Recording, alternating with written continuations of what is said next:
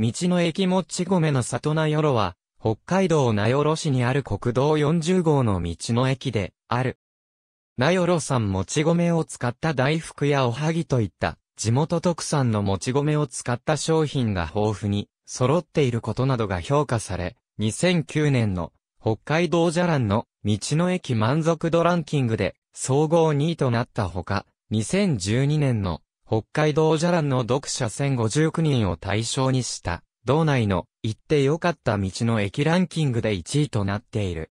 地元のコミュニティ放送 FM なヨロが2008年4月17日から施設内にサテライトスタジオを設置し、毎週月曜日に道の駅からこんにちはの生放送を行っている。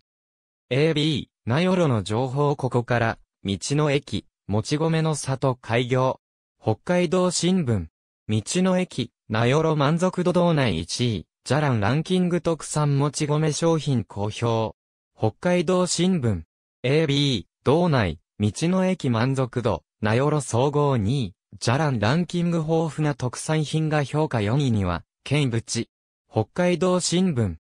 地域経済、良かった道の駅ランキング1位、名寄食品が充実。北海道新聞、道の駅にスタジオエア撤止新設一部番組、17日放送開始なよろ北海道新聞、なよろ発地域のラジオエア撤止